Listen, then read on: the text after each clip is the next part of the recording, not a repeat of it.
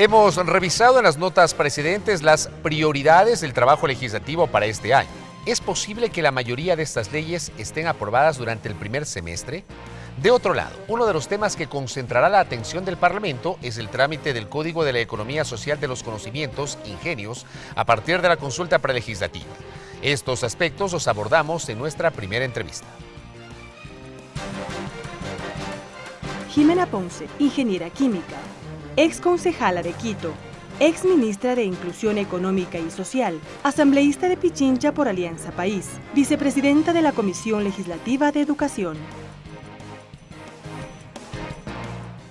Asambleísta Ponce, bienvenida a la televisión legislativa. Buenas tardes y un buen año con todas y con todos y qué bueno pues estar ahora informando sobre los avances en este debate tan importante que tiene que ver con la propiedad intelectual, con los conocimientos, con esto que llamamos que es esta economía eh, infinita, de los recursos infinitos, inagotable. Cómo no, pero antes de aterrizar eh, puntualmente en el tema del Código de los Conocimientos, quisiéramos conocer cómo se está configurando a lo interno lo que sería la agenda legislativa para este 2016. En un reportaje precedente hemos revisado varios de los temas que eh, sin duda serán analizados en este año. Bueno, en la Comisión de Educación, Cultura, Ciencia y Tecnología tenemos una tarea pendiente que es la del propio Código Ingenios. Es un articulado más o menos que llega a los 500 artículos en donde estamos revisando todos los temas de propiedad intelectual, de acceso al conocimiento, de investigación, de motivación, de intervención de la empresa privada también en lo que es el desarrollo del conocimiento y eh, los temas ya de investigación y desarrollo de nuevas tecnologías. Este creo que nos va a llevar un buen tanto de este primer año. Yo creo que el primer semestre también nuestra expectativa es, a pesar de tener una discusión profunda, también hacerlo de la manera más ágil posible. Un segundo tema que está en, nuestros, en nuestras manos es una ley que va a la par del cierre de las 14 universidades que se realizaron años atrás, estas universidades que se llamaban universidades de garaje y que eh, se ha visto impedida de alguna manera eh, un, un, completo cierre porque además hay que hacerlo por ley, tal cual se crearon estas 14 universidades por ley, tienen que ser cerradas por ley. Ese justamente lo empezaremos mañana en el análisis dentro de la comisión, el cierre definitivo por ley de esas 14 universidades Permítame solamente, hay una precisión, porque digamos, ahí tengo una confusión, porque entiendo que el eh, Consejo de Educación Superior CES, a través de su presidente, el economista René Ramírez, remitió un proyecto donde le propone a la Asamblea eh, derogar esas leyes que crearon aquellas universidades que fueron cerradas por decisión del CEACES. Pero a la vez, el presidente de la Comisión de Educación, Raúl Abad, también presentó un proyecto. Eh, ¿Cómo se va, digamos, a procesar ambos o lo van, bueno, a modificar o cómo lo van a hacer? Eh, quien tiene la potestad de presentar proyectos de ley es el presidente de la República con el con el CENESID, con René Ramírez, ha venido trabajando para poder tener un cierre adecuado de las 14 universidades. ¿Por qué digo adecuado? El cierre físico, digamos, el cierre de operaciones académicas se lo dio. Eso. ya ocurrió. Los chicos pasaron casi 40 mil por el proceso del plan de contingencia. Se han graduado algunos, otros están todavía cursando los estudios de manera eh, regular, normal. Pero ¿qué ocurre? que hay algunos temas, hay juicios que están pendientes, no se pueden entonces cerrar cada una de las universidades, no se ha podido cerrar cada una de ellas, entregar los activos, por ejemplo, para pagar o, liquidar los activos para pagar a los profesores, trabajadores que están pendientes de deudas o proveedores incluso también que están pendientes de deudas con cada una de estas 14 universidades. Por tanto, se ha visto dificultosa la única, la, la vía, digamos, expedita que sería derogar la ley que, lo crea, que creó a cada una de las universidades. Pero existiendo estos procesos todavía judiciales que están en la mitad, hay que hacer un cierre jurídico que lo estamos haciendo en esta ley en la cual se va a establecer un fondo que se llama un fideicomiso para que administre estos recursos que finalmente van quedando, estos saldos, digamos, y puedan ser administrados con el único objetivo de cerrar las universidades. Eso está claro, pero le preguntaba con, cuál de los dos proyectos. Ah, bueno, el proyecto que recoge Raúl Abadi, que lo presenta es precisamente aquel que se lo ha venido conversando con Cenecid. Entonces ya acoge las sugerencias, porque este tema del cierre de las universidades lo veníamos planteando al igual que el cierre de la crisis financiera en la época anterior, digamos cuando estaba yo de, presidenta, y lo veníamos trabajando en ese sentido. Entonces es el del doctor Abad el que se va a Exactamente, exactamente. ¿Replantea el anterior de alguna manera? Eh, el de René Ramírez fue presentado aquí, pero no ha sido entregado porque ah, quien tiene potestad ah, legislativa para presentar proyectos desde el Ejecutivo. Ahí faltó una, digamos, solemnidad de carácter legal. Exacto, una, formalidad. Eh, de ser presentado por el presidente de la República, pero ¿qué es lo que se hace? Se lo acoge inmediatamente porque son temas que los hemos venido trabajando y se lo presenta para que siga el curso legal. y ahí me queda totalmente claro. Ahí tiene un segundo elemento. ¿Qué otros elementos más tienen ustedes como prioridad para este año? Bueno, tenemos algunas reformatorias que se han solicitado, pero me parece que están para el archivo de la Ley, de Educación Superior, por ejemplo, que ustedes quieren hacer un ejercicio similar de la Ley de educación intercultural. Queremos hacer un ejercicio de fiscalización a la Ley Orgánica de Educación Superior.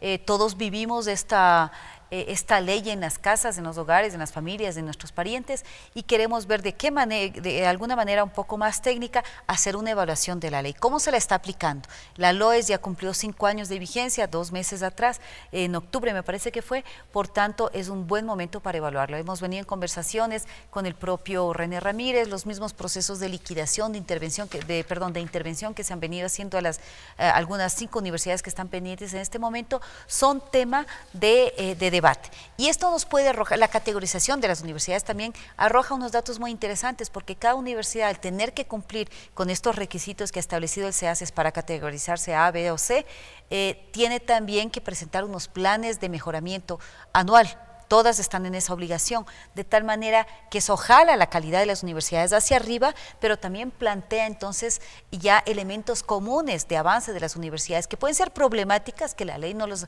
resuelve claramente, o puede ser mala aplicación de la ley. Es por ahí por donde queremos evaluar entonces la aplicación de la LOES.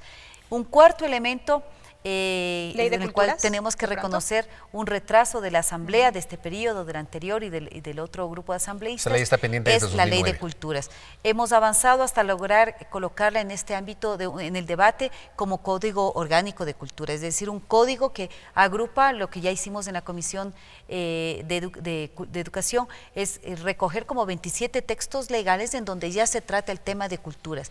Y fíjense qué interesante también que en este momento ya podemos hablar incluso de un sistema de seguridad social para los artistas, que al inicio del año, de, este periodo legislativo, en el 2013, teníamos la ley del artista como un cuerpo único, 10, 12 artículos me parece que eran, en donde estaban algunos temas de protección para los artistas de ciertas ramas del arte, no para todos, pero ahora con la discusión que hemos tenido con la ley de justicia laboral, por ejemplo, cuando se afilian a las damas de casa, pues ahora podemos tener ese mismo tipo de avances o de esquemas para asegurar a los artistas. Entonces vemos que se van complementando y la ley de cultura o este este código de cultura irá agrupando también patrimonio, irá agrupando industrias culturales, así como las definiciones y el acceso al derecho de la cultura. En estos días decía el presidente de la Comisión de Educación que eh, se reunirían ya para empezar a trabajar en lo que sería el informe para el segundo debate.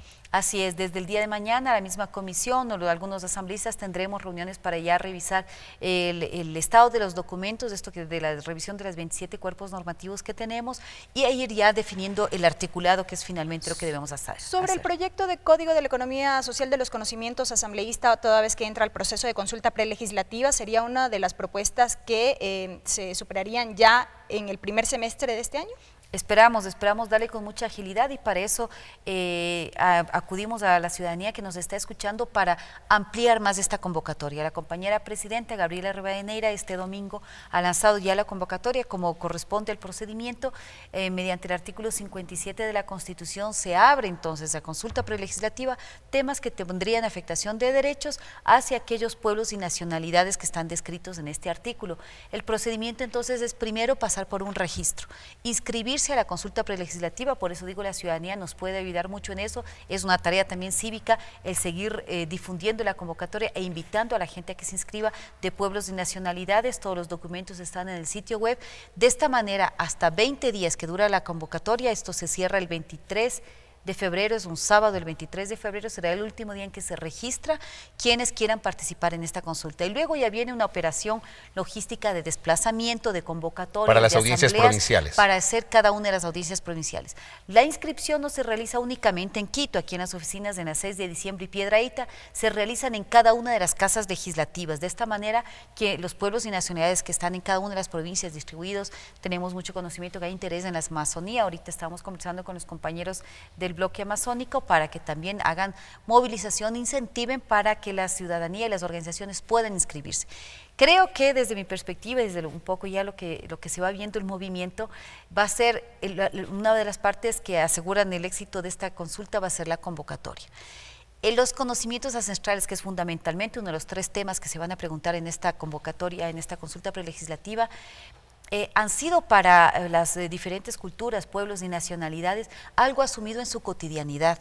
Es decir, no es que en una comunidad ha existido la universidad a donde van a estudiar los conocimientos ancestrales, sino que ha sido transmitido en las familias, en la práctica diaria, mientras cocinan, Trasladado de generación en generación y en base a sus propias idiosincrasias. Y no ha habido un, contenedor específico del, conocimiento o de la investigación. Por tanto, esta convocatoria, actores específicos, sí eh, es diferente a la convocatoria que hemos hecho para aguas y tierras, porque ahí hemos tenido juntas de regantes, asociaciones por el derecho al agua, que han estado ya definidas y trabajando en ese tema específico.